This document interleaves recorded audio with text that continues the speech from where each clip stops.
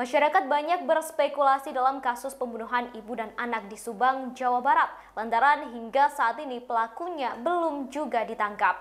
Istri muda Yosef bernama Mimin banyak dipojokkan dalam kasus ini. Melihat hal itu, kuasa hukumnya Rohman Hidayat menyebut Mimin tak akan berbicara hingga pelaku pembunuhan ditangkap. Pernyataan itu muncul setelah Mimin tampak selalu diam ketika diminta untuk menjawab tuduhan publik. Rohman kemudian menyampaikan keluhan kliennya yang merasa tersudutkan atas kasus pembunuhan Subang. Ia mengatakan banyak spekulasi yang muncul di tengah masyarakat, bahkan hingga spekulasi yang tidak ilmiah atau spekulasi mistis. Hal itu dinilai menyudutkan kliennya. Dikutip dari Tribun Jabar.id Senin 27 September 2021, ia menjelaskan dalam kasus ini dibutuhkan penyelidikan ilmiah, bukan spekulasi mistis yang melibatkan jin dan makhluk gaib. Hal itu sangat menyudutkan Mimin dan Yosef serta merugikan kliennya. Ia meminta semua pihak untuk tidak memberikan spekulasi dan menyatakan tidak segan melakukan upaya hukum. Diketahui sudah satu bulan lebih kasus pembunuhan ibu dan anak di Subang, Jawa Barat hingga kini masih belum juga Pihak kepolisian sampai hari ini masih berusaha menemukan pelaku pembunuhan keji tersebut.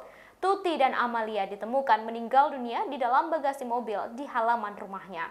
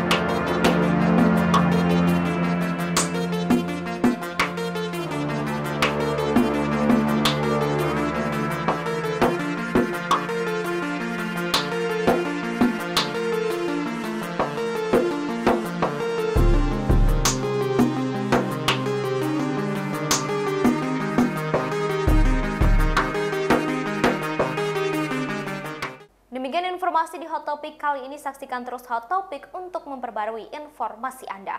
Terima kasih sudah nonton. Jangan lupa like, subscribe, dan share ya.